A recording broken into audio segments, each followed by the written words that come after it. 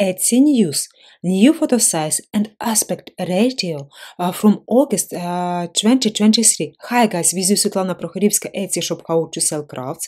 Uh, look here, on Etsy, shoppers are more likely to make a purchase when a store displays square photo based on Etsy data collected June-July 2023. That's why in your Etsy shop on the home page, that's why in many Etsy items uh, you will see now square photos. What does this mean? You need to make square photos and in your Etsy shop, uh, look, uh, your Etsy shop is good with this news or not. Uh, and so many items now with uh, square photo. Uh, what mean? Uh, Etsy photo requirement as August 1, 2023. Use JPG, GIF or PNG. The recommended size uh, 2000 pixel for shortest side and resolution 72 pixels per inch, 1 MB for faster download.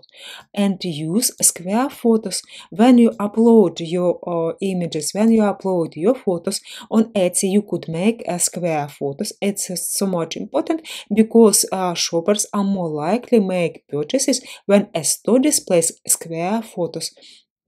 Guys, if you need help, visit my Etsy shop how to sell crafts. If you have any question, write under this video. Bye guys, with you was Svitlana Prokhorivska.